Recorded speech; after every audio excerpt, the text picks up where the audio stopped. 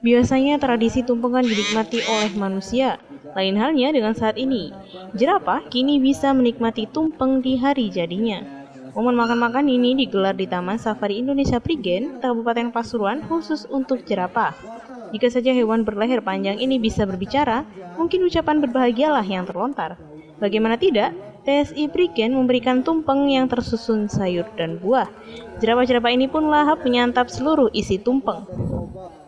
Dari data lembaga konservasi, setiap tahunnya koleksi hewan pemamah biak ini telah melahirkan bayi-bayi yang sehat. Setidaknya, sudah empat kali jerapah indukan di TSI ini melahirkan.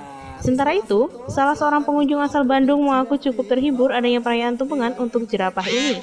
Apalagi, TSI juga mengizinkan pengunjung memberikan makanan dan berfoto di depan taman jerapah meski dalam pengawasan kiper.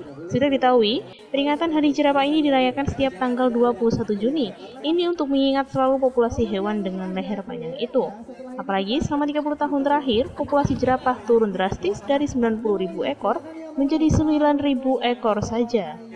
Ya, kita harus jaga itu kelestarian lingkungan biar jerapah-jerapah yang nggak punah cepat ya. sendiri-sendiri ya itu Ini termasuk binatang langka kan ya? Iya, masuk binatang langka. kelestarian yang ada di Untuk meningkatkan apa kepedulian semua masyarakat atas keberadaan satwa jerapah ini.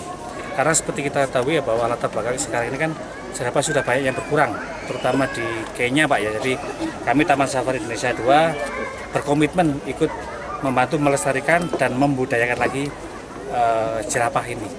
Kita sudah empat kali kelahiran di sini Pak ya. Jadi ini yang keempat kemarin baru juga ada satu kelahiran yang baru. Dari Pasuruan, Sodik melaporkan.